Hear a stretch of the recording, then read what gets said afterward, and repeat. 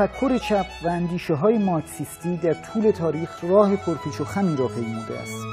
هنوز شخصیت های انقلابی مانند چگوارا اتش جوانانی را که رویای برابری و آزادی دارند برمیانگیزند. اما آیا چپ در ایران و جهان مرده است؟ آیا متفکران مارکسیز امروز پس از گذشت 170 سال از انتشار مانیفست کمونیسم خواهند توانست قرائتی نو از این اندیشه را ارائه دهند؟ من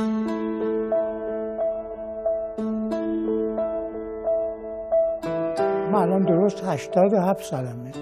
یعنی از اول رضاشاه بودم تا خود رضاشاه رو از نزدیک برای اینکه آمد چند بار مدرسه پیروزکویی و مدارس دیگه دبستان البرز اینا ما اونجا خب دیدیم از نزدیک.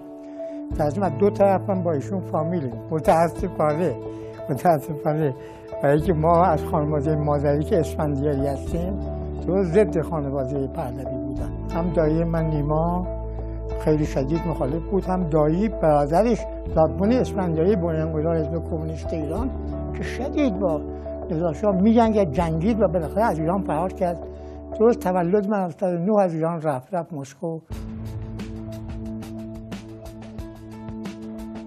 اینا یه مجموعه ایش راجع به نیما. یه مقدارش مربوط میشه به نامه هایی که نیما به مادر من نوشته. و یک نامه دیگه هم هست که سی صفحه است که اون رو من به هیچ کس نشون ندادم نامه نیماز به دکتر ارانی.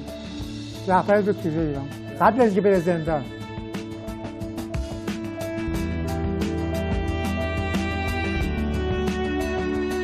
15 سالگی رفتم تو حزب توده به خاطر نیما و لادبون. نیما بنیانگذار حزب کمونیست ایران یعنی من با تمام اصول مارکس معتقدم سی و چهار که لیسانس اینا همه گفتن تو برو آلمان برای شاگرد اول فلسفی جای فلسفه آلمانه چون من شدم دانشجوی ارسالی دانشجوی دولت میگه شاه چون مخالف بود گفت با پول دولت نرو و چون مخالفت کردیم با پول دولت بریم شدیم کمک هزینه ببینید چقدر ارزون بود که 200 تومن در ماه که ما میزن 100 تومن دولت می‌داد 100 تومن پدر من می‌داد با این 200 تومن اونجا سلطنت می‌کردم. بعد رفتم پیش استادی مدتی یک پنج شیش ماه پروفسور عثمان. پروفسور عثمان آسیستان یاسپرس معروف بود کلاس درس آلمانی خودش اینقدر در شیش ماه آلمانیم قوی شد که یه شعرم با آلمانی گفتم. یعنی خیلی خودش عوض گفت که تو ازم بی خود با منی. برو با کارلوویت یا برو با گازمه. خودش من رفتم پیش گازمه. 17 سال من باید بودم.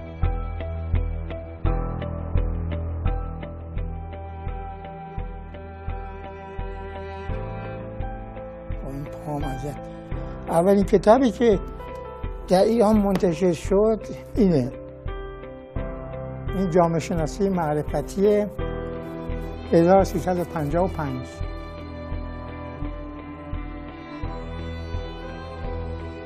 حالا مجموعا 11 کتاب. غیر از توده عظیمی از مقالات غیر تو مجله های گوناگون غیر از اونها اینا کتاب از کتاب ایناست.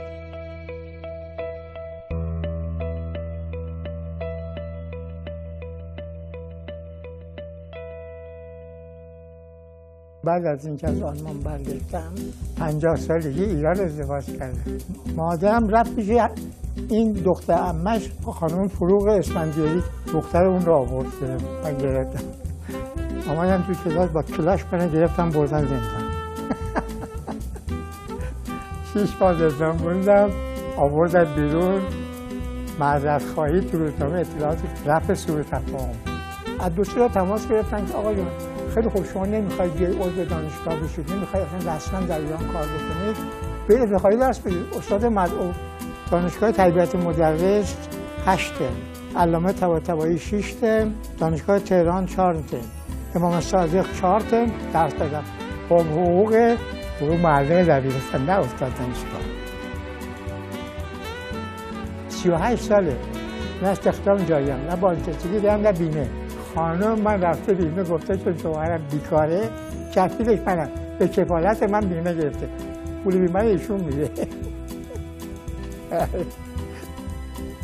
من منوچه راشتیانی متولد 1309 در تهران فرزند محمد حسین آشتیانی نتیجه میزای آشتیانی معروف خارزاده علی اسفندیاری معروف به نیمای وشیج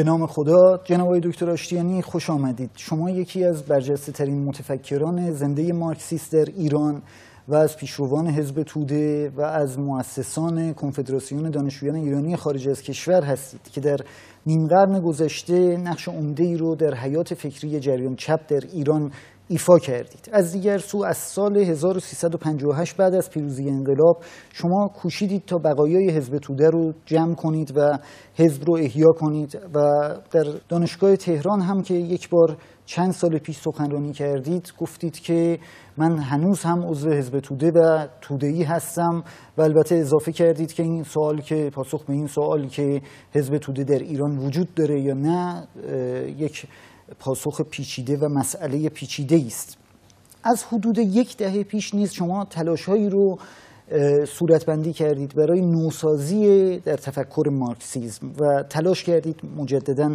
مارکسیزم رو احیا کنید. با این وصف ما در آستانه 90 سالگی شما شما رو باید رهبر مخفی یک حزب زیرزمینی بدونیم یا صرفا پدر معنوی مارکسیست های معاصر ایرانی. تا اونجایی که من می‌دونم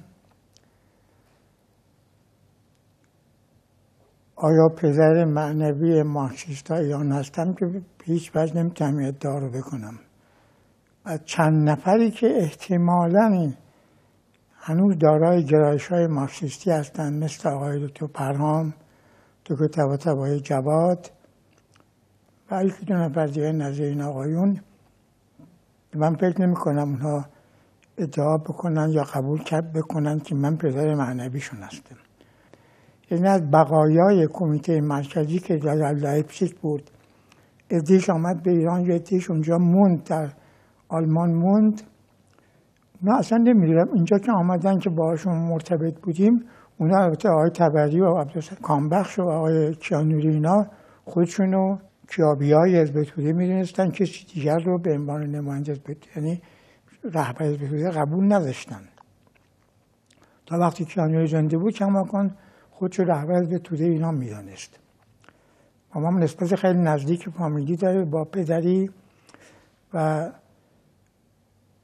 آیا اون قسمت دیگرش که من در به عنوان سازماندهی حزب توده ایران نقشی داشتم؟ نه این در مورد من شرط نمی‌کنه ابتدای انقلاب شما رو به همین دلیل بازداشت کردن بله, بله. یه شیش ماهی اشتباهی رخ داد که بازداشت کردن چه اشتباهی؟ ولی با کمال تعجب باید به شما بگم که بعدا من از رفقای سابق به توده ایران آقای دکتر روح الامین و آقای دکتر از کنم که حقشناس مشخصا شنیدم که کسانی که من رو گرفتن بردن زندان حزب توده ایران بود. یعنی نفوزی های حزب توده بود. و حتی می‌خواستن من برم در بیابان ها تیرباران بکنن. کسانی که نگذاشتن مجاهدین بودن. مجاهدین و بخش آخوندی زندان بود که نگذاشتن که من اعدام بکنن. برگردوندن به زندان و بعد آزاد کردن. آقای دکتر ابوالحمد که من توی سازمان جوانان بود و دکتر حقشناس و دکتر از من پرهام که سازمان جوانان بودیم اینا سریعا من گفت باقر پرهام. سریعا گفتن که شما چطور هنوز به این حزب وفادارید اینا می‌خواستن شما رو اعدام کنن. به علت این که شما وقت در لایپزیگ از آقایون دیدار آقایون رفتید و برگشتید اینا وقتی می‌خواستن به ایران آمدن به شما گفتن که شما برگردید توی حزب. به دستور حزب برید.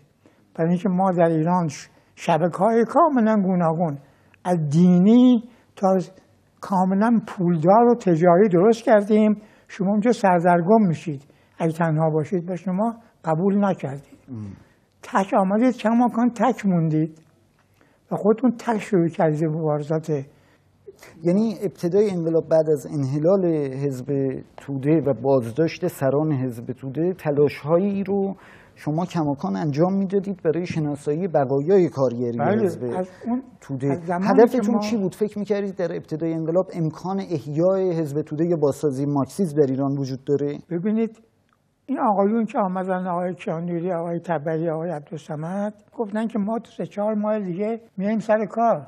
یه نظام سوسیالیستی به وجود میاد این تحلیل حزب توده ابتدای انقلاب این این بود بود. که سقوط می‌کنه جمهوری بله. اسلامی و گویین که اینا طبق تز برژنیف ما معتقد بودن همونطور که من معتقدم که باید با نهضتی که با شاه مبارزه کرده و با امپریالیسم مبارزه می‌کنه باید کاملا صادقانه همکاری کرد معلومت معتقد بودن ما در داخل این سرانجام ما هستیم که میایم رهبری رو به عهده می‌گیریم و اینا میرن کنار و برای همین با امید کسب قدرت بله. سیاسی شما در ابتدای انقلاب در حالی که در واقع کادر کمیته مرکزی حزب فروپاشیده بود شما تلاشهایی رو شروع کردید که البته این تلاش ناکام بود صورتی که آقای کیاندوری می‌گفت تنها کسی که احتمالا شاید حالا نمی‌دونم تنها کسی تنها کسی که قبول نداشت که همچین چیزی درسته من بودم. دکتر شرف شرف دین خراسانی که مرحوم شد که خیلی معروف کتاب نخستین فیلسوفان یونانش خیلی مشهوره. ایشون برگشت آنکت پر کرد رفت حزب توده شد. من آمد اصرار کرد که تو چرا نمیایی تو که تو حزب از 15 سالگی. گفتم اینا بیخود میگن. اینا سر کار نمیان. وضع مبارزاتی و نیروهای طبقاتی و طبقه پولتاریا در ایران اصلا نیرویی نیست که اینا رو بیاره سر کار. و اینا وجود کمان که در انتخابات خب بعد تلاش های شما پس با این تحلیل چه معنایی پیدا می‌کنه؟ اگر شما در مقطع ابتدای انقلاب قائل بودید من خدمتتون میگم. شانسی نداره حزب توده بخت آزمایی شما برای احیای با بقایای بله اون حالا خدمتتون میگم. من چون معتقد بودم که مارکس درست میگه و میبایستی در ایران در کشورهای مختلف مارکسیستا بیان سر کار و چون اینا در نامه‌ای که در اول این مشروطیت نوشته بودن به لنین که آیا ما با رضاشاه کنار بیایم یا کنار نیاییم؟ پاسخی که لنین داده بود که من این پاسخ رو در لایپزیگ خودم دیدم. به خط لنین که اگه پرولتاریای قوی مست- مستحکمی دارید با رضاشاه کنار نیایید و باش بجنگید و با- پرولتاریا انقلاب سوسیالیستی کنید. اگه ندارید با رضاشاه کنار این بیایید. توصیه های لنین به مبارزان بله. ایرانی بود. اولیه حزب توده بود. ارانی اینا. بله. با کنار بیاید برای اینکه اینا حداقل مق... مترقی‌ترن از قاجاریه. مقدمات سرمایه‌داری رو آماده می‌کنن. برای شما بعدا مقدمه پیروزی. چون این در ذهن من بود و آقایون آمدن این حرفا من این حرفا اینا قبول نکردم. چون تحلیل من این بود که اگر همچی جریان بود در همون انقلاب مشروطیت پیروز می‌شدن. برای اینکه این با تش... شباهت با انقلاب کبیر فرانسه اینو من بارها هم همه جا گفتم. اگر ما یک پولتاریای قوی داشتیم مشروطیت تبدیل می‌شد به انقلاب سوسیالیستی اکتبر. اگه سرمایه‌داری قوی می‌شد انقلاب بورژوا دموکراتیک فرانسه هیچ کدام نشد. بلکه رضا قلدر آرشتی آمد به کمک انگلستان همه نابود کرد و نشست بالا. پنجاه سال. خب این که اصلا مشروطیت هم نابود کرد به کلی. خب این که اصلا هیچ چیز کدام نبود و علت اصلیش ضعف کلی بنیادی طبقاتی در ایران بود. اینکه پروفسور کاتوزیان و آقای دکتر جواد طباطبایی میگن. نبودن فئودالیسم قوی در تمام تاریخ 2500 سال در ایران و سرکوب فئودالیسم وسیله پادشاهان. مانع از این شد که بر روی نعش فئودالیسم بورژوازی قوی به وجود بیاد. و فرماسیون 2500 ساله شاهنشاهی نذاش نظام طبقاتی ایران شکل بگیره. متلاشی کرد. برای اینکه دسپوتیسم شاهنشاهی نظام خودسر فاعل مایشات در بالا چون کی به این تحلیل تقریبا؟ بعد انقلاب ایران. قبل تحلیل بعد درش خب این پارادوکسه. به خاطر اینکه اگر شما این تحلیل داشتید دیگه تلاشاتون برای بازسازی مارکسیسم چه معنایی پیدا می‌کنه؟ چون نیروی. محرکه مارکسیسم به عنوان یک ایدئولوژی بله. انقلابی قائل به این هستید که در تاریخ ایران. وجود نداشته درست می‌خوام همین عرض کنم که من چون در تفکر و ایده خودم نظریات مارکس رو درست می‌دونم می‌دونستم البته با بله و نها و اما و آخرهایی که باید درش دست برد همطوری که لوکاس من گفته بود و به دیگران گفته بود با این بدون ویژونیست بدون اپورتونی با تجدید بدون نظری که تجدید نظر. طلبی و بدون بله. فرصت طلبی فرصت طلبی ولی باید درش تغییرات کلی داد. اگر نمیمانه به اون صورتی که خود مارکس آورد دوران 140 سال پیش الان گذشته و خیلی چیزای تازه آمده. خب یعنی مارکسیسم رو شما مشروط قبول می‌کنید. بله مشروط. من چون به این معتقد بودم گفتم خب این که درسته. پس چرا اینا موفق نشدن؟ چون خب بله اینجا رسیدم به تحلیل طبقاتی که در در تمام طول تاریخ طبقه پولتاریا نبود. اصلا بعد از انقلاب جمهوری اسلامی که خیلی موافق بودم. از جمله نیروهای خیلی کمی بودیم که مارکسیست بودیم ولی با نهضت خمینی موافق بودیم در بله، ما خیلی کم بودیم ما. خمینی نماینده نهضت ضد بله. امپریالیستی ما ایران کاملا اون ایشون رو در کنار مصدق. هنوزم آقای مصدق رو هم- بله هنوزم ما اینها رو در- کل جریان وقتی از رصدگاه خیلی بالای کنسلاتی به قول مانو نگاه بکنید کلا اینا در خط مبارزه ضد امپریالیسم می‌خوام به. این سوال به صورت سریع جواب بدید و اون پارادوکس رو تعیین تکلیف بکنید که چگونه میشه شما هم قائل باشید که نیرویی برای پیشبرد اهداف مارکسیستی از جمله طبقه کارگر در ایران وجود نداره و در عین حال تلاش بکنید برای احیای بقایای کارگری حزب توده همین تمام مسئله من این بود برای اینکه بعد از انقلاب جمهوری اسلامی ایران بعد از یه مدتی که من اصلا در این فکر نبودم. بعد که به تحلیل های خودم رسیدم. جدا از حزب توده ایران جدا از کیانی اینا. بعدم که اینا خورده خورده فاصله گرفتند و در, در برخورد با نظام قرار گرفتند به زندان رفتند و چه و چه که می‌دونید. که من اصلا خوشبختانه چون نرفتم آنکت پر کنم اصلا هم کاملا جدا از به تو ایران برای خودم تنها موندم. بعد دکتر شرف از دانشگاه اخراج شدن چه به صورت خیلی بدی تحت فشار قرار گرفتن. حالا من کاری اصلا این بحث ندارم. من گشتم ببینم. سر اینکه اینا موفق نشدن اینه که اینا پشت به طبقه کارگر ندارن. گشتم ببینم آیا طبقه کارگری وجود داره که بشه مارکسیسم رو احیا کرد.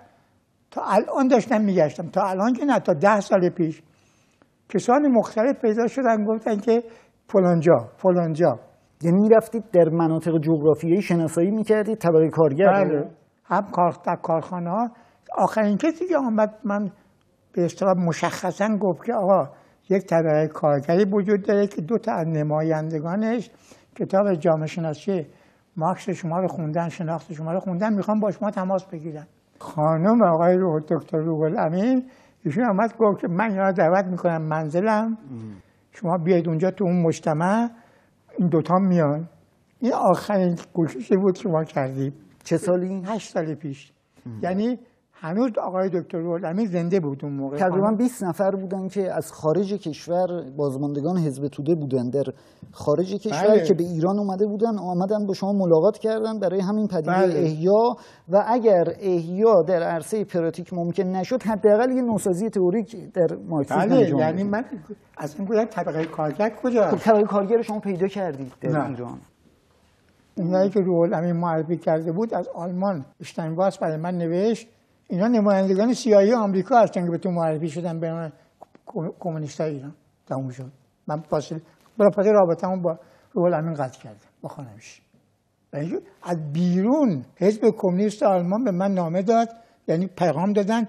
اینایی که با تو به عنوان حزب کارگری ایران تماس گرفتن یعنی نمایندگان سیاهی واقع آمریکا. به نام حزب توده با شما ارتباط گرفت؟ اینا به عنوان گفتن چون تو دنبال پولتاریا و کارگر بقایای به تو ایران که پولتاریا باشه کارگر باشه ماییم. ما تنها نیروی کارگری به تو که موندیم. خودمون هم کاملا حفظ کردیم. رول امین خانمش خودشون اینجوری من یعنی گفتن مأمور CIA بودن ولی بله. مأمور دروغ. CIA بودن. بله. بعد من تقریبا آمدم باعثشون شدم تماس گرفتم من بردن کوه های بنک اونجا باب صحبت کرد جلسات مخفی خواستن بذارن. من چند تا جلسه مخفی با اینا داشتید شما؟ سه جلسه بود تقریبا؟ یعنی در یه جلسه منزل پایان دوره آقای خاتمی بود دیگه بله یه جلسه منزل رولمی بود دو جلسه هم تو کوه کمرای بیابونا. م- الان فکر کنم دیگه این مسائل از به عنوان حزب از محرمانه در اومده باشه می‌تونید به ما بگید که با این در واقع کمونیستایی که از خارج به دیدن شما اومدن و الان میفرمایید که اینا نفوذی های CIA بودن چه بحثایی رو داشتید در مورد حکومت جامعه و طبقه محروم تو همه ایران؟ بحث های سطحی مارکسیستی هیچ در هیچ یک این سه جلسه که ما داشتیم حتی در خود منزل آقای رولمی نرسیدیم به اینکه مثل شما الان بحث کنیم راجع به کاپیتال و فلان و فلان. بعض اینکه بله در ایران باید این فعالیت هایی بشه باید در ایران روشنفکری فلان بشه روشنفکرها در خودمون درست بحث های سطحی حزب توده. من فکر کردم اینا تو اول کاره نمی‌خوان اسرار و فعالیت ها دوست من که سوال کردم اینجور وانمود می‌شد که ما که نمی‌تونیم الان ما یه تشکیلات مخفی خیلی پیچیده‌ای هستیم. نمی‌تونیم الان به شما بگیم چی به چی. ناچار شده من گفتم خب اینا که اصل مقطع من نمیگن. اصلا نمیگن که خب اینا مرکز کجاست حزبش کجاست کمیته مرکزی کجاست هیچ کدوم من نمیگن. ناچار شدم تماس گرفتم بچه های بیرون یعنی با خارج. اونا هم رفتن با حزب کمونیست آلمان تماس یعنی من موقعی عضو کاپده بودم رفتم با اشتین احتمالا به همین دلیلی که شما در اون سخنرانی تو دانشگاه تهران میگید که اینکه حزب توده در ایران وجود داره یا نه پیچیده است. یعنی در بله. اون زمان احتمالا شما با این گروه خارج کشور در پی احیای بله، حزب. همون زمانی بود که من داشتم میگشتم ببینم که دو سه تا دو سه بار این رخ داد. اول یک جایی آمدن گفتن ما طبقه کارگر. یکی این آخریش بود که به نظر من خیلی مسجل شد چون رول امین پشت کار هست. بله چون رول امین برای من به شخصیتی بود که رئیس اون آنچه توی جامعه شناسی و اون فلان و خیلی چیزا و معرفیت و خانمشون همینجوری اینا گفتم خب اینا دیگه دروغ نمیگن چرت پرت نیست. و خیلی صریح میگن که بابا نمایند دو تا نمایندش آمدن میان می‌خوان تو رو ببینن. کتاب جامعه شناسی مارکس تو هم خوندن. گفتم درست ما همین می‌خوایم. همین آدمو. که با دینم مخالف نباشه به این صورت. ما درست به عنوان یه همچی کسی میگردیم. تانسیون اصلی مارکس وقتی من نگاه می‌کنم من حالا مارکس جای مارکس نشسته نوه مارکس دارم فکر می‌کنم تانسیون اصلی من چی بود؟ مواظب با سرمایه داری نه مواظب با دیانت. اینا به مارکس صورت دین نگاه می‌کردن.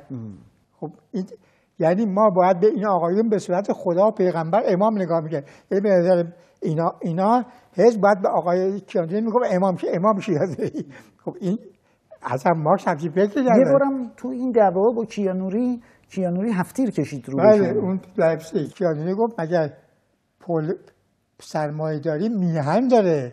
سرمایه داری میهنش جهانی است. هر جا بتونه سرمایهش می‌ذاره. به همین نسبت هم پولتاریا جهانی پولتاریا میهن نداره. من گفتم پولتاریا میهن نداره یعنی که پایتخت ما مسکو تهران نیست و شاعر ما پوشکین حافظ نیست. خب بله. شاعر ما حافظ پوشکین نیست. پایتخت ما تهران مسکو نیست. دست برد به هفتی. کیانوری هفتی بله. پای لباس عقب کشید. دست تولی گرفت. خب اگه میکش من چون مخفی رفته بودم هیچ کس من نبود کی از مرجع اشتهی وجود نداشت. اونجا مینداختم من توی گورستانی تموم نه هوای شما رو داشتن. شما موقعی که می‌رفتید آلمان سن کنسول در واقع اون کشور فامیل شما بود میومد استقبال شما. شما تو همون فرانسه که بودید تا دیر وقت تو شب نشینی های مهمونی های دربار و با خاندان دربار بودید آدم شناخته شده در حال فرانسه رفتید آلمان آدم شناخته شده بودید. اینطوری نبود کیانوری شما رو بکشه و هیچ اثری خیلی بعد خیلی گذشت خیلی زمان گذشت. و ما تقریبا تنها موندیم و صحبت بازگشت به ایران بود و اینکه صحبت پروپاشه نسبت شاهنشاهی بوده فلان. خب ما همه خودمون غیر مستقیم آماده کرده بودیم. و نه این همینجوری سمبولیک میگم. میگم خلاصه این البته اونم فکر نمی کنم همچه خیالی داشت. تاریخ دو بار به روی صحنه میان. تاریخ دو بار تکرار میشه. مارکس اضافه می‌کنه به این جمله هگل میگه یک بار به صورت تراژدی و بار دیگر به صورت کمدی. ما تراژدی مارکسیزم رو در قرن بیستم از سر گذروندیم. آیا بازسازی مارکسیزم تبدیل به یک کمدی نخواهد شد؟ نه اگر درست انجام بگیره نه.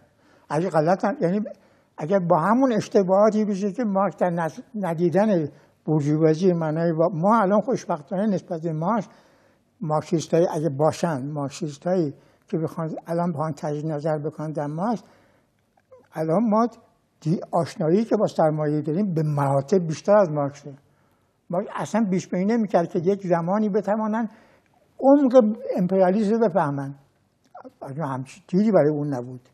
حتی خود لنین اونجوری که الان ما امپریالیسم آمریکا رو امپریالیسم جهانی رو داریم می‌بینیم خود لنین این عمق درک نمی‌کرد.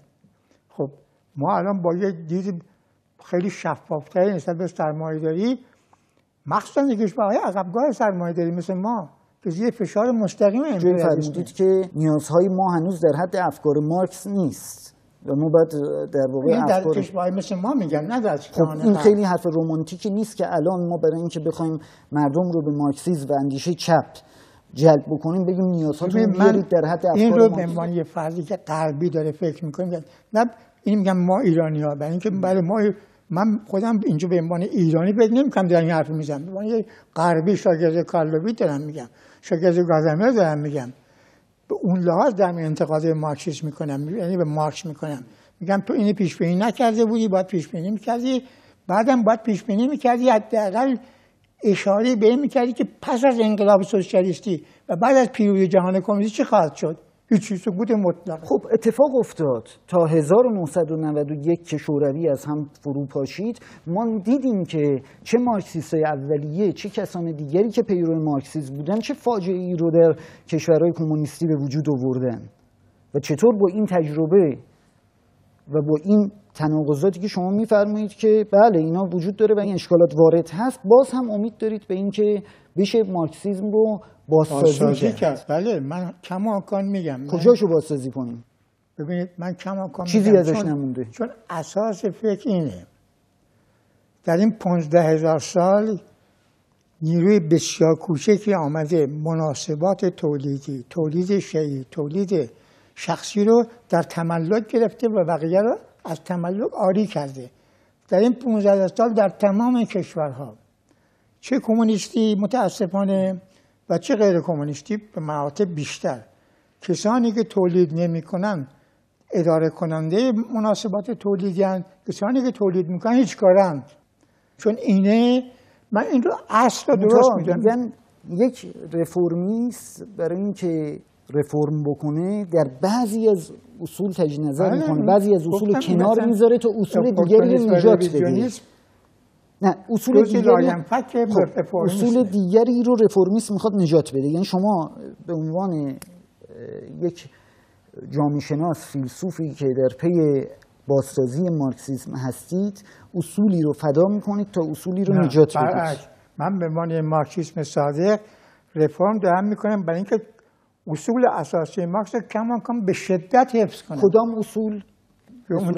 اساس اساس این. یکی مالکیت اساس این که سرمایه‌داری باید نابود بشه. الان یه حزب تو ایران بیاد که بره همه خونه‌های مردم بگیره. سرمایه‌داری جهانی باید نابود شه.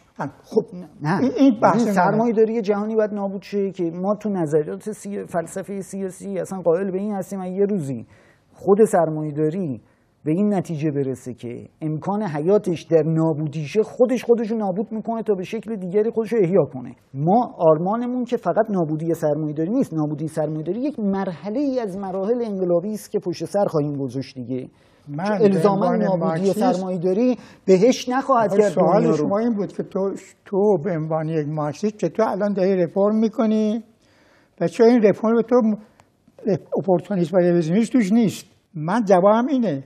من به عنوان مارکسیست دارم رفرم می‌کنم به این صورت که اصول اساسی رو کاملا حفظ می‌کنم با هر, هر آنچه که باعث تضعیف مارکسیست شده. آنچه که باعث تضعیف مارکسیست در طول این 1130 سال شده در این دارم تجدید نظر می‌کنم. هر, هر چه. هم گرایش به طرف دوگماتیسم هم گرایش به طرف کاریسماتیسم هم گرایش ولی معمولا تجربه رفرم تجربه این سوسیال دموکرات بله. یکی از رفرمیستای معروف لشک کولکوفسکی بله. و امثال هم بله. تجربه رفرم تجربه ناکامی بوده در مارکسیسم. چون بله می‌دونم. ببینید شما برای همه میگم من من کاتسکی و برنشتن نیستم که اونجور رفرم بکنم که مارکسیسم برچیزه بشه. نه. من دارم برعکس تمام رفرمیست های داخل مارکسیسم. رفرمیست های بیرون که اصلا باشون کاری ندارم.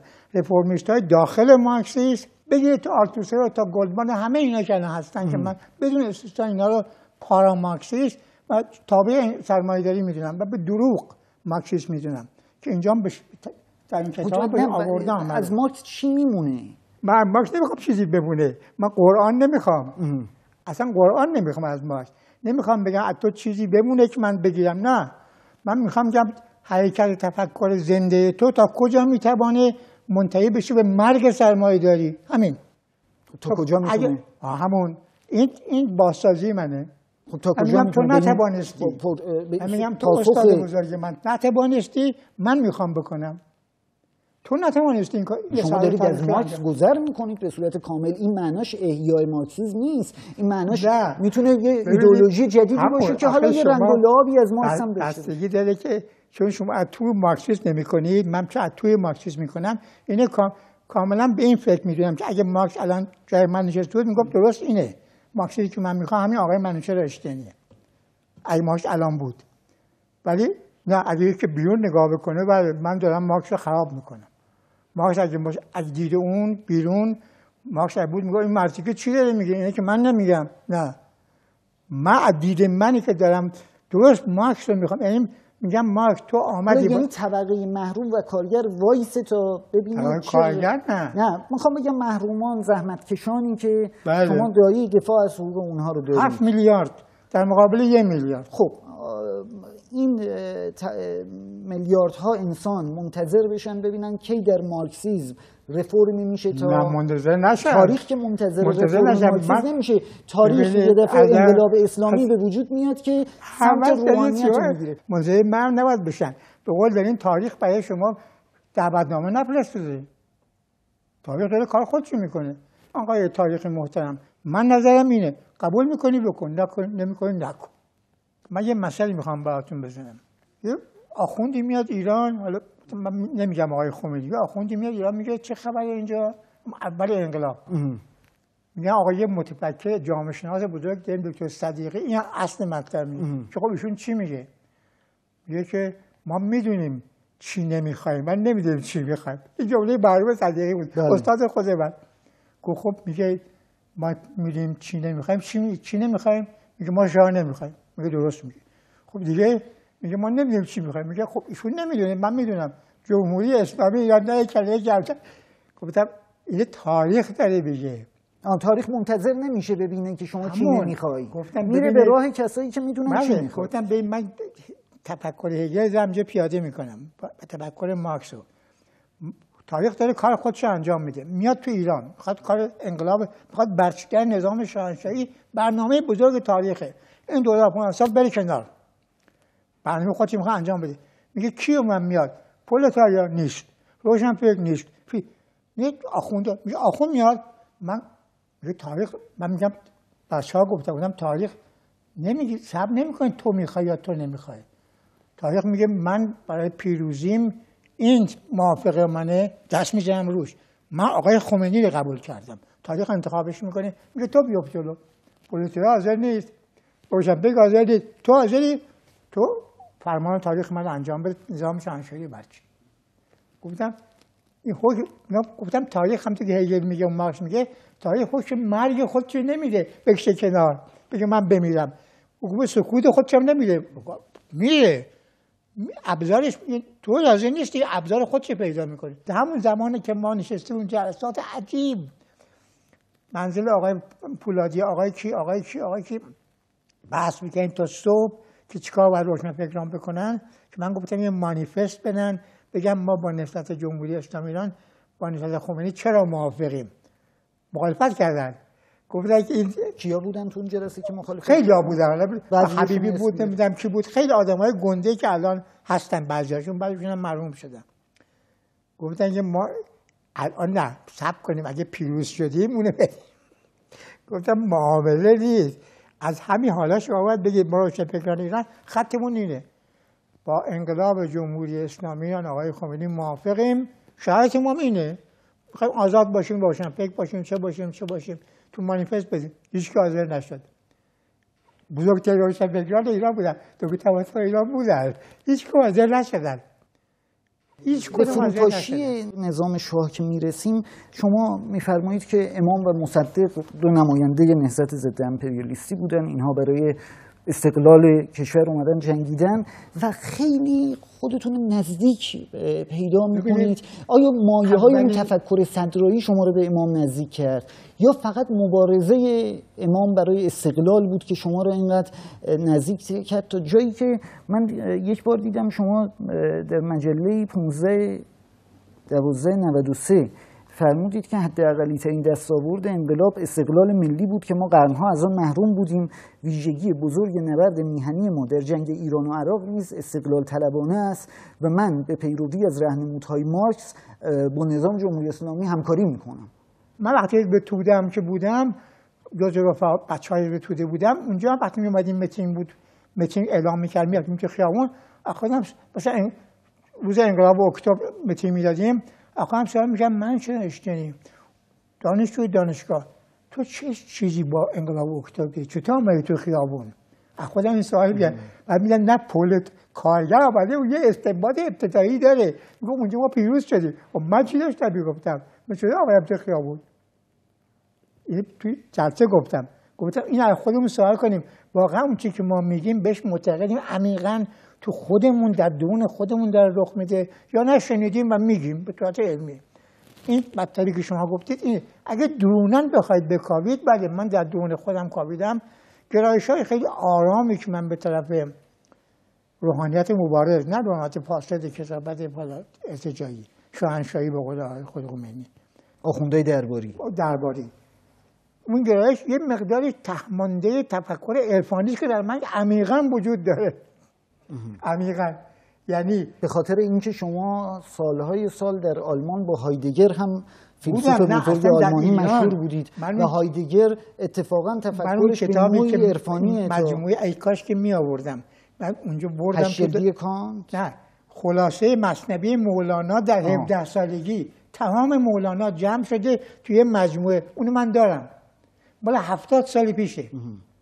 خب از اون موقع این گرایش وجود داشته. و بعد گرایش بخش آقای امیز مهدی و اینا بخش آخونده فامیلی ما که عرفانی بودن. بله. عرفان کامل و نیما یوشیج دایی شما همه اینا اصلا این نوع گرایش درونی بیشترین اثرتون رو فکر کنم نیما بله. یوشیج گرفتید. یعنی خیلی ساده به شما بگم. من به خودم همیشه گفتم مارکس به عنوان یک آلمانی مارکسیست آلمانی است و تمام میراث که داره از کانت و هگل و فورباخ و فلان میگه. من به عنوان مارکسیسم ایرانی یه غیر بعد برگم گفتم کی تو ایرانی کار کردم فقط ارانی. تقی ارانی. یعنی شما یه قرائت بومی از مارکسیزم با توجه به میراث بله، اسلامی ایرانی می‌دید و در این حال این میراث ایرانی و اسلامی کاملا یه میراث متافیزیکی است و من از آخرت شناسانه است. برای اینکه خیلی ساده بهتون جواب بدم حالا همه پیچیدگی های غیره و غیره غیرهش بس نمی کنم و از این جمله مارس در برخوردش با دیانت در مقاله سویودن پراگ درباره مسئله یهودیت خیلی الهام گرفتم. میگه دیانت ذکر مصیبت و بدبختی است که بر انسانها وارد شده است و پیام دهنده این ذلت انسانی است. aber gleichzeitig اما همزمان است der Ausdruck der Protestation gegen dasselben اما همزمان پرخاش است این مصیبت. دیانت. من نگاه می‌کنم یهودیت همین کاری کرده مسیحیت همین کاری کرده اسلام همین کاری کرده. ضمن اینکه داره میگه انسان لفی خسر داره میگه در این خستان نباشید. از این خستان بیاید بیرون. یعنی ضمنا داره پرخاش می‌کنه علیه فرعون علیه خاقان علیه ظالم پرخاش داره می‌کنه. پس این حرف مارکس درسته. من در تمام تفکرم به این رسیدم. که مارکسیسم واقعی مثل خود مارکس. دعواش با دیانت نیست.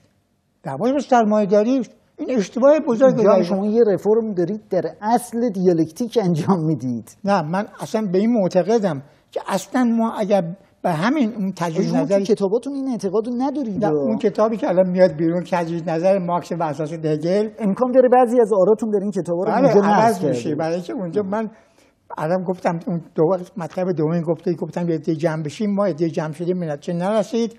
من خودم نشستم به این فکر رسیدم که چه اشکالاتی وجود داره که ماش در اثر نادانی تدریسی و فلسفی واقعی رو هگل نتوانسته این تضادها رو بیاره جلو. من در خود هگل دیدم ده ها تضاد و دیالکتیک هست که اصلا باید متوجه نشده. از 2300 تا قانون دیالکتیک فقط چهار تاش آورده بیرون. بقیه گذاشته اونجا مونده.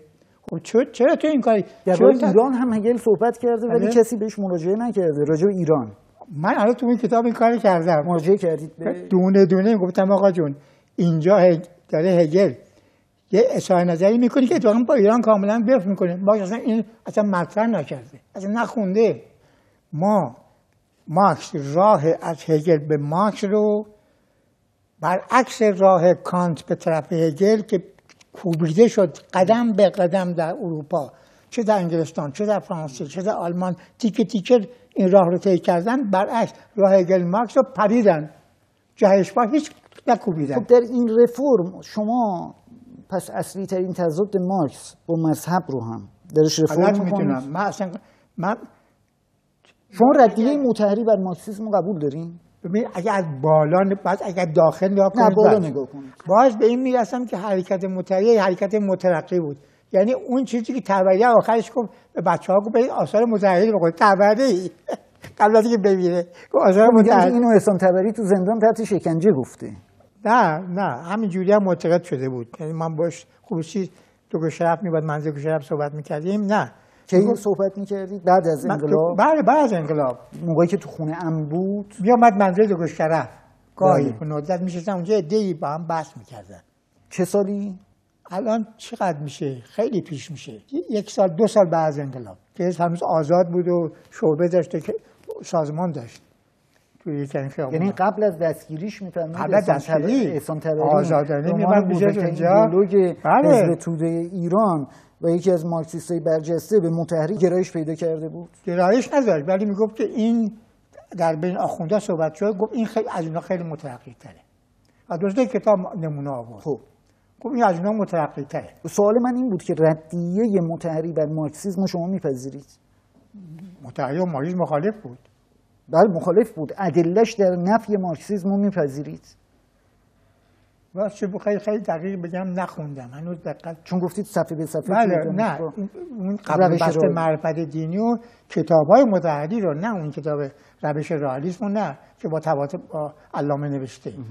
خود کتاب ها چند تا کتاب من هنوز ازش دارم که تاریخ و جامعه چی چی چی چی اونا رو نگاه می‌کنیم ولی چرا در زمان آقای خاتمی به نظر می‌رسه یکم شما امیدوار شده بودید به اینکه جریانای در واقع رفرمیست اه، بتونن فضا رو تغییر بدن. یکم به نظر می‌رسه از این گرایشات مارکسیستی و تحلیلی که در مورد حرکت اسلامی و انقلاب اسلامی دارید تو دوره اول آقای خاتمی فاصله گرفتید یعنی مقالاتتون رو که من توی کتاب گفتارهای پیرامون شناخت مناسبات اجتماعی می‌خونم مثل مقاله جامعه مدنی به نظر می‌رسه تحلیل شما برای یک مقطع کوتاهی در اون دوره خیلی بله اینا نزدیک به مارکسیستی نیست نزدیک من به تحلیل روشنفکری. لیبرال حتی یکم این تو بحث. جامعه مدنی شما با مشروعات بله لیبرالیسم نه اصلا بحث می‌کنید چجوری شما. یک جا با مشروعات مارکسیستی بحث می‌کنید یه جا با مشروعات بله. اسلامی بحث می‌کنید گاهی با مشروعات لیبرالیستی اون درسته بله. اون خیلی التقاطی و مخلوط و یعنی قبول ندارید این کتابو نه. اکلکتی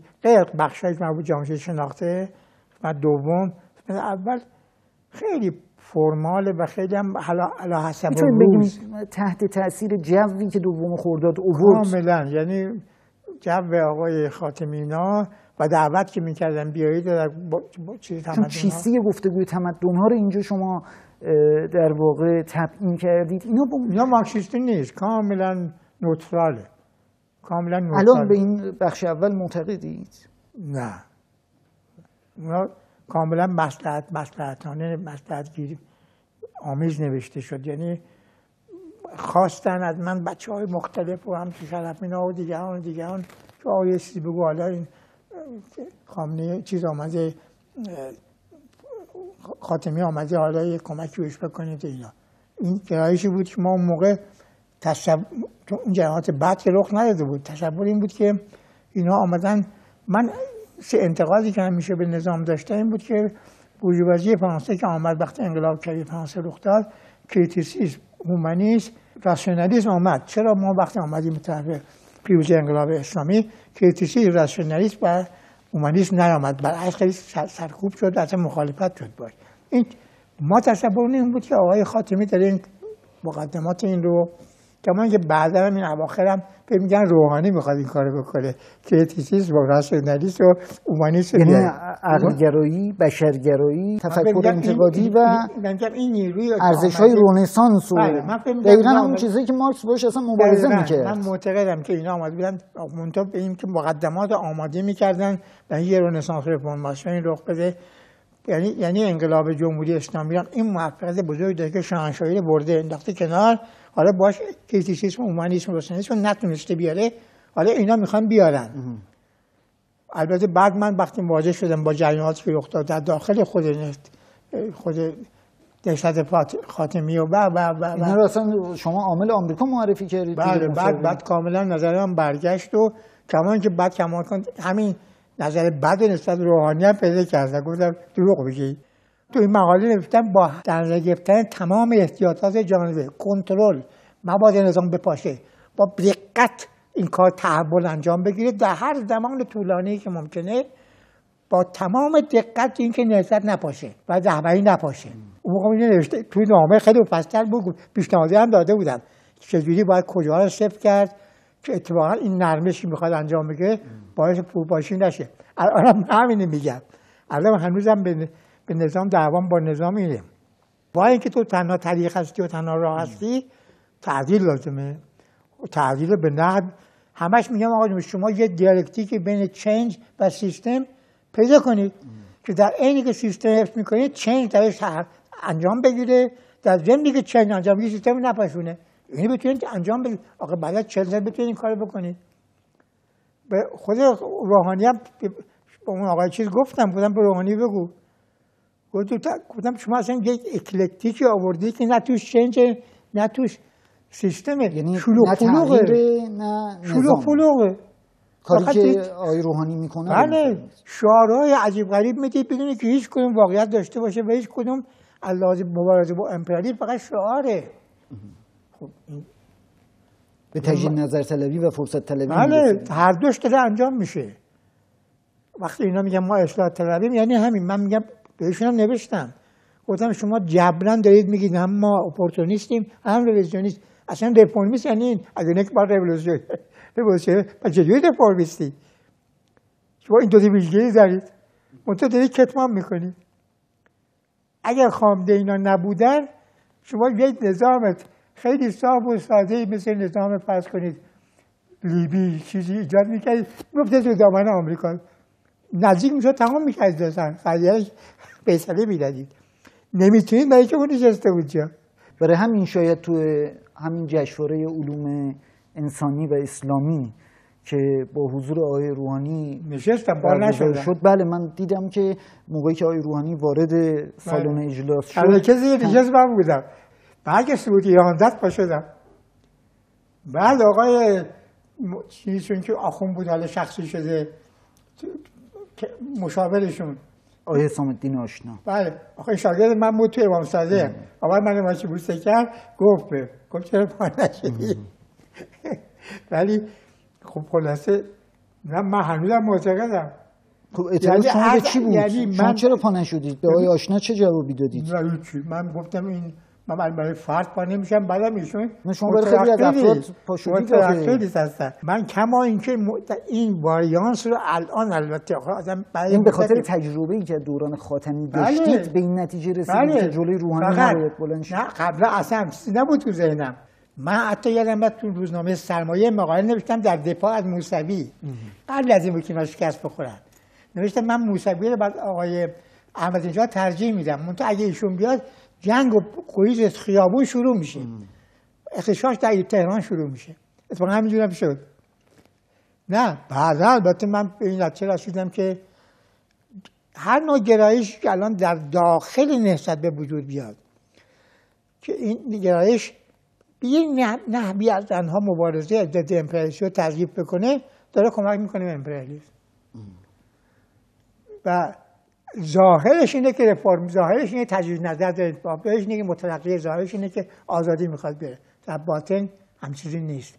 اما این نظر اینا در مورد خانواده ما خانه ما بودن و از کنم بچه ها رفتن رای دادن به روحانی. گفتم من نمیدم. گفتم قبول ندارم این آمدید حدید نظر بکنید بپاشید و هم نظام رو. همه اینا بازگشت به طرف نظام شاهنشاهی است. غیر مستقیم. منتها یعنی تجدید حیات.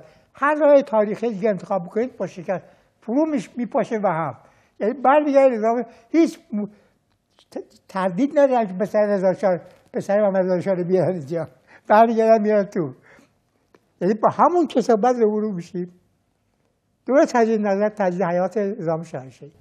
خب الان امروزه خیلی از روشنفکران و خیلی از مورخانی که در مورد تاریخ عصر پهلوی مطالعه می‌کنن تحقیق می‌کنن. قائل هستن که در عصر پهلوی های پیشرفت خیلی بیشتر از های پیشرفت تو جمهوری اسلامی بوده. دانشگاه آزادتر بوده. دانشگاه آزادتر. مستقیم تو دانشگاه دانشگاهی که من من فقط دانشجو بودم. بدترین دوره دانشجو بود که مستطر سقوط کرد. رئیس دانشگاه رو برداشتن. اقبال کردن رئیس دانشگاه که ما اعتصاب کردیم کنگه استادان گرفتیم دستگیر کردیم. آرتش اومد تو دانشگاه.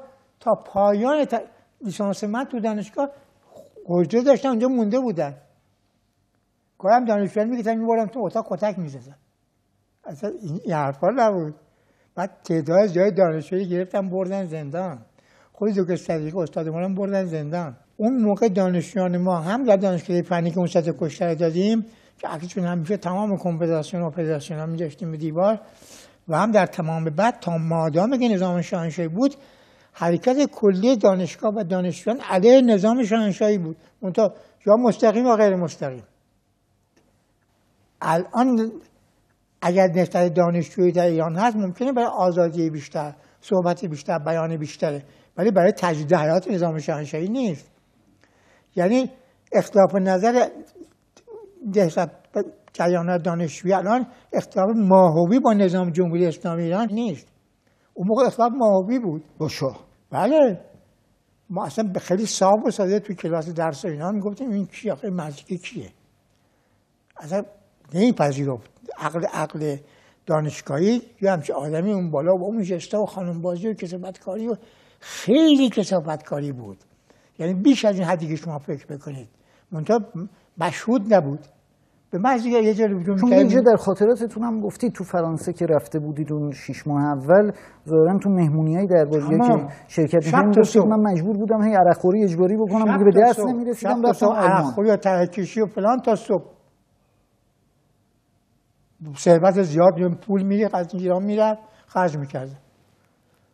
الان هم اون شرف و اشرف و مشرف و بشم اونا پس کسی برای هستن خود رضا پهلوی و که اونا مشغولن همین کارا رو دارن می‌کنن. خبر دارید شما؟ بله. از کجا؟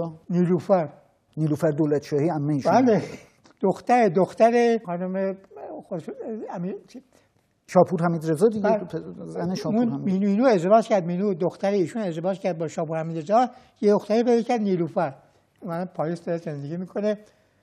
نوکر و کلفت روسی داره.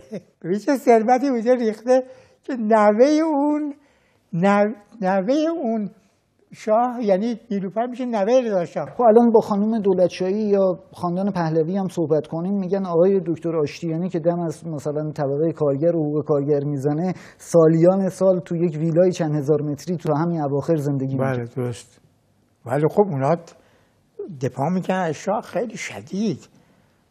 خانم دولتشاهی دفاع می‌کرد. اگه یکی تو منزلشون قصدشون به قول معروف شوهرش هم که خانواده قاجار بود و شاهزاده دولتشاهی اینا اگه بعد می‌گفت پتک می‌زدن. اصلا اینجوری نبود. بیرون پتک نمی‌زنی. بیرون می‌کرد. میگن بیرون. نه. اصلا خیلی فرق داره. اونا واقعا شاهی بودن. مهمانی شاه می‌گرفتن جشن می‌گرفتن. برای خاطر شاه دعوت می‌کردن. خیلی مفصل بود. میگم اونجا اون چنان مهمانی های میذاشت نمی‌تونست نرید. اصلا تمام زندگی شما هم پاشید به هم. و این خیلی در شخصیت شما جالبه که علا رقم این وابستگی به خاندان پهلوی از چند جنبه مختلف باز گرایش شما در نهایت به سمت نیمانشیج و مبارزه با خاندان بله. پهلوی این بیشتر در اثر وجود میگم تنها چیزی که عامل اصلیش بود یکی اون بخش خیلی عرفانی دینی آقای امیز مهدی اینا بودن که اونا ماهیتا اصلا با شاه مخالف بودن. هیچ گرایشی به این طرف نداشتن. های معنوی عجیب غریبی داشتن. یکی هم خود نیما بود و لادبون با برادر ایشون که رفت مسکو. خب اینا به حزب توده حزب توده که به توده علل باطن چنان با شاه مخالف نبود. برای اینکه ست وزیر داد تو کابینه قوام.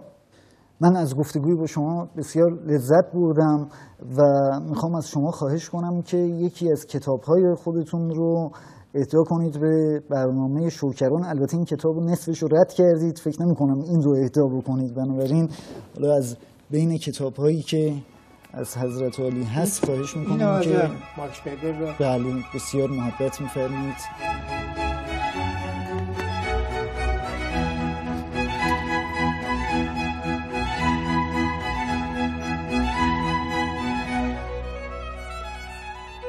شما فلسفه دان بزرگی هم هستید و سرنوشت شوکران سقراطی هم خبر دارید در جاهایی هم بهش اشاره کردید.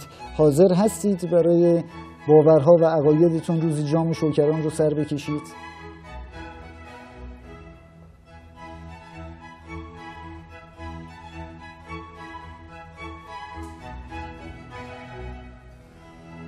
دست شما درد نکنه. بسیار لطف کردید. نه. نه آقا نه. که ببینید من معتقدم تا وقتی سرمایه‌داری وجود داره باید نیروها بمانند. و ولی مارک حاضر بود خودش رو فدا بکنه حداقل در نظر. من معتقد نیستم. نیروها باید بمیرند. باید بمانند و ولو سرمایه داری عمرش خیلی طولانی تر باشه. که الان من بچه هم میگم که شما ممکنه یه زمانی شاید شاهد فروریزی یا حداقل نابودی سرمایه داری باشید. ولی من دیگه عمرم تمام شده. من معتقدم برخلاف نظر مارکس من بهش کامل وفادارم و معتقدم برخلاف تمام نظر استادان خودم گادامه رو لوبی و غیره من معتقدم آینده نسبتا دورتر جامعه بشری ما نمی‌تونیم پیش بینی کنیم. اشتباه این کار بکنیم. کما اینکه اگر شما به قرن دوازده یا یازده ده چه عقبتر بیشتر رجوع بکنید بگید که مثلا یه روز توی محفلی باشید پس کنید برگشتید به قرن هشتم. بگید آقا یه دستگاهی می‌سازن شما 5000 کیلومتر اون طرف صحبت می‌کنید اینجا عکس یارو می‌بینید اینجا شما دیوانه شدید.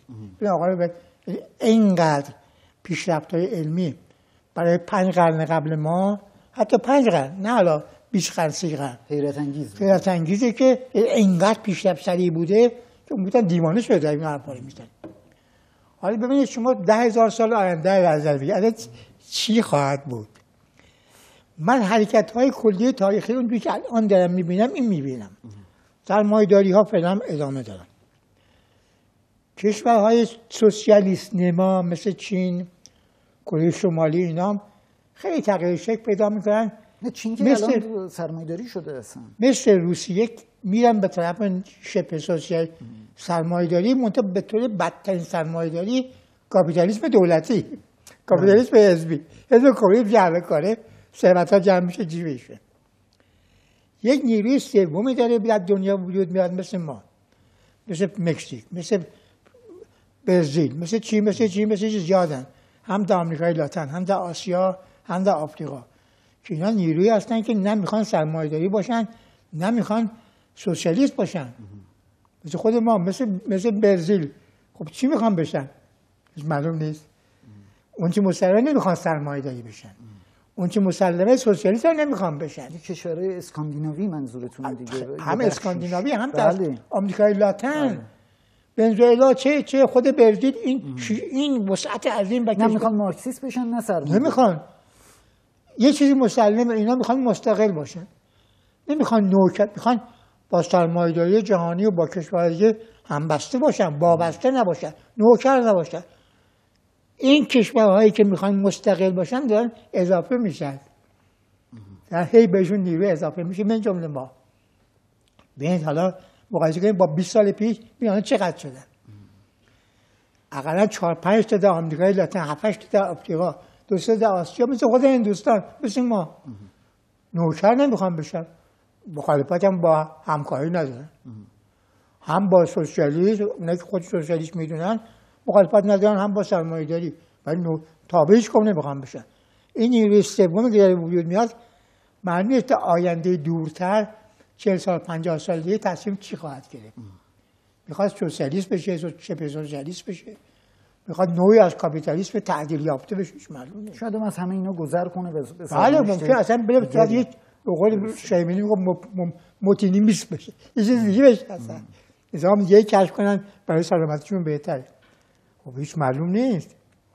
ما حالا شیعه رو انتخاب کردیم ممکنه اونا چیه چیه انتخاب بنابراین آینده غیر قابل پیش به نظر من این قابل پیش بینی است یعنی هی فشار بیش از حد و تکبر بیشتر به استکبار شدید سرمایه‌داری جهانی و تحجر نظام پنج نظام کمونیستی که مونده. مثل چین این تحجر و این تسلب و اون بیراج بیراج های چرت و پرت بیمعنی بسیار کشورها داره زده می‌کنه داره مستقل می‌کنه. که اصلا خودشون از این دو تا خطر دور نگه دارن. این داره اضافه میشه. ممکن در آینده دو سه تا کشورها بودن مثل شوروی آمریکا. فقط فقط. به کشور مستقل شکست. چین شوروی آمریکا یا. برعکس این بشه. و اینا ادامه بدن به زندگی و بقیه مستقل برای خودشون. حیات اجتماعی ادامه عجیبه که این واقعیت ها داره انجام میشه.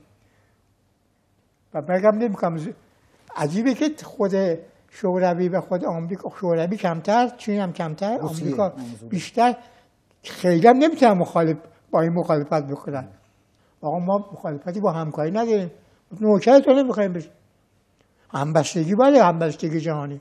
وابستگی نه. این نظر من درست. این نظر درسته. نظر این جهتی که داره پیدا میشه در کشورها و در ملت تفکر سالمی است. کما که من در مورد استقلال که چیز نظام تکل ما در این 2500 سال شعار استقلال و آزادی و عدالت اجتماعی داریم. عدالت اجتماعی آزادی هنوز به دست نیاوردیم. در طول تاریخ به نسبت نسبت خیلی کم. ما برای دومین بار که داریم استقلال به دست میاریم به دست آوردیم. دو سه بار که دست آوردیم پاشید رفت. تاهریان و سامانیان و سپاریان پاشیدن رفتن. ولی جمهوری اسلامی تونست اینو بده تورستی الان چل سال نگه داشتیم. این من همه جا گفتم. این خیلی مهمه. شو برگردیم به اون سه شعارمون آزادی از دموکراسی و عدالت اجتماعی و استقلال. شما اگه استقلال نداشته باشید دموکراسی بخوای به دست بیارید دموکراسی شما نیست. تو مستقل نیستی. کسی دیگه بهتون میگه چجور آزادی. دموکراسی آمریکا. کاذبه. بله کاذبه. اون لحظه که می‌خواد بگی آزادی آمریکاست میگه آزادی تو آزادی که من میگم اینه. این انتخاب کن. همچنین اگه بگی عدالت اجتماعی اون نظام کمونیستی میگه عدالت اجتماعی که چی میگه؟ ما. عدالت اجتماعی ما. هر دو کاذبه.